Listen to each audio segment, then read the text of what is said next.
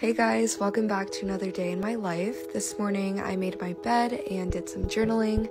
Then I got ready for the day and did my skincare. After that, I went downstairs for some breakfast. First thing is always my greens from Bloom Nutrition.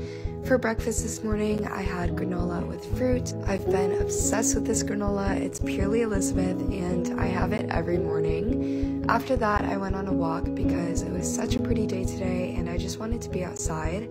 I walked three miles and then I took a shower, had some lunch, and went to the farmer's market with my mom. After that, I met up with my friends and we went boating and just hung out, which was really fun. We got Mexican food for dinner, and when I got home, I went on another little walk to watch the sunset. After that, I made some tea and lit some candles, watched TV, and that's pretty much it.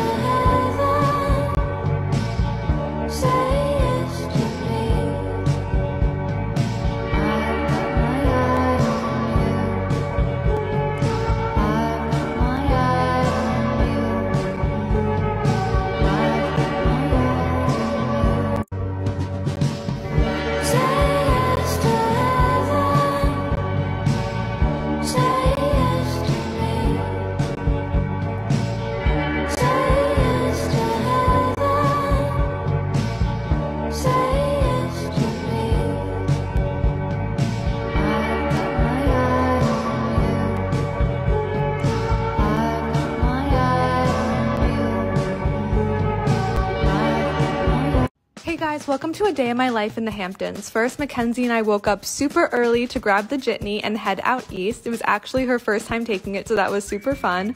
When we got there, we started our morning in Sag Harbor at Sagtown Coffee for breakfast. Then we walked over to the new LoveShackFancy store. Guys, it is absolutely stunning. I tried on this ball gown and totally fell in love with it, but I didn't want to have to carry it around all day, so Mackenzie and I just got friendship bracelets instead. Then we headed over to Southampton, bought matching sweatshirts because we were a little chilly, and then got iced coffee at the Golden Pear. Then we walked around some more, went into this cute little bookshop, and it was time to get ready for dinner. We went to our favorite restaurant, Sant Ambroeus, and we obviously had to get pasta and princess cake for dessert. Then our Uber was way too much fun. It had a mini fridge. Bye.